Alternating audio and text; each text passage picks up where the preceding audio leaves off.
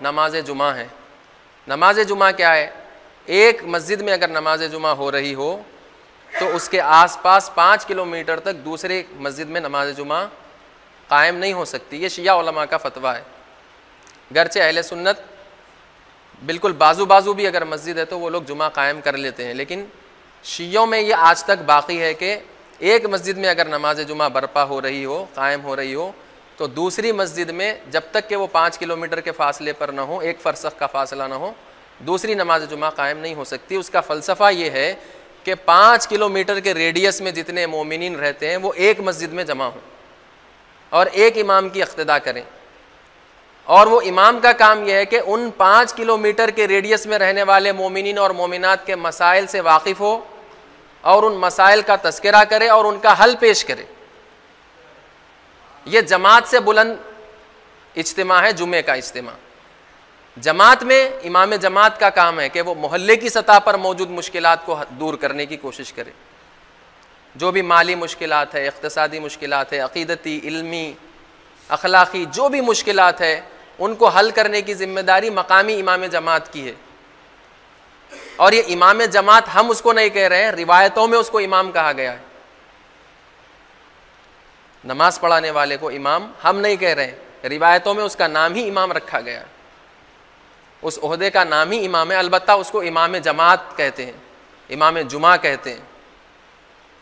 امام جمعہ کا کام کیا ہے؟ پانچ کلو میٹر کے ریڈیس میں جو مومنین رہ رہے ہیں، ان کے مسائل سے واقف ہو اور ان ان کے مسائل کا حل بھی جانتا ہو۔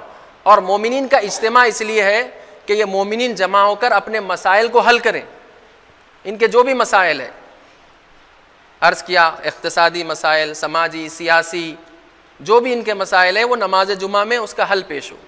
مسلمانوں کے مسائل فقط اقتصادی نہیں ہیں۔ مسلمانوں کے فقائد، مسائل فقط اخلاقی نہیں ہیں۔ کیونکہ ہم کسی نہ کسی ملک کی تابعیت میں رہ رہے ہیں۔ میں ایک ملک کا تابع ہوں، آپ ایک ملک کے تابع ہیں، آپ ایک سٹیزن ہیں۔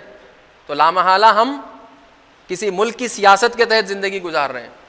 تو ہمارے سیاسی مسائل بھی ہے ان تمام مسائل کا تذکرہ جمعے کے پلیٹ فارم سے ہونا ہے۔ ہم یہ کہتے ہیں جمعے سے یہ چیز بیان نہیں ہونی چاہیے یا یہ چیز بیان نہیں ہونی چاہیے۔ اگر دین کا اس سے تعلق ہے تو وہ چیز بیان ہونا ہے۔ جمعے سے دین سے مربوط ہر چیز، اور دین سے مربوط کیا نہیں ہے بتائیے مجھے۔ انسان کے دین سے مربوط، اس کا اقتصاد بھی اس کے دین سے مربوط ہے، اس کے اخلاق بھی اس کے دین سے مربوط ہے اور اس معاشرے کی سیاست بھی دین سے مربوط ہے۔ یہ سب چیزیں مربوط ہیں اور یہ سب چیزیں بیان کرنا امام جمعہ کا فریضہ ہے۔ اور اگر یہ چیزیں نہیں ہوتی تو پھر ہم ظہر کی نماز پڑھ لیتے اپنے اپنے محلوں میں۔ ظہر اثر کی نماز پڑھ لیتے۔ معاملہ ختم ہو جاتا ہے۔ جمعے کی نماز رکھی اس لیے گئی ہے کہ ہمارے پورے مسائل حل ہوں۔